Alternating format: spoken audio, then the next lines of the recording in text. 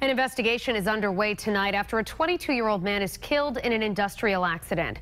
It happened at a Johnston business today, and tonight we're hearing from the mayor about today's tragic accident. Eyewitness News reporter Rosie Woods is in Johnston with more details for us now. Just hours after a man died at this disposal and construction company, we're talking to the mayor about this long-standing community business. It's a sad, it's a sad day. It really is. That's what the mayor of Johnston, Joseph Polisena, is telling Eyewitness News after 22-year-old Darwin Perez was killed Tuesday morning while working at this disposal and construction company. They've been a, you know, a long-standing business in the town. They've been a great business. Police are currently investigating how the 22-year-old died, telling us an autopsy will take place on Wednesday.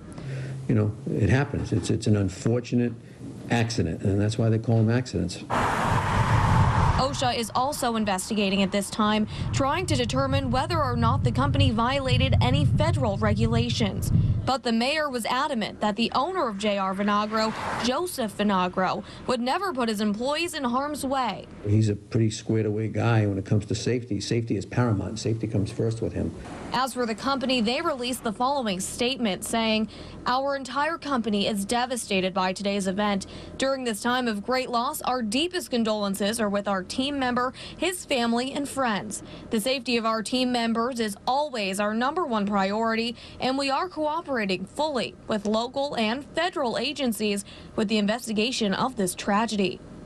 Now, we did check into the safety records of this company. Last year, they had a situation with an amputated finger. Then in 2014, they were fined for not having enough protective gear.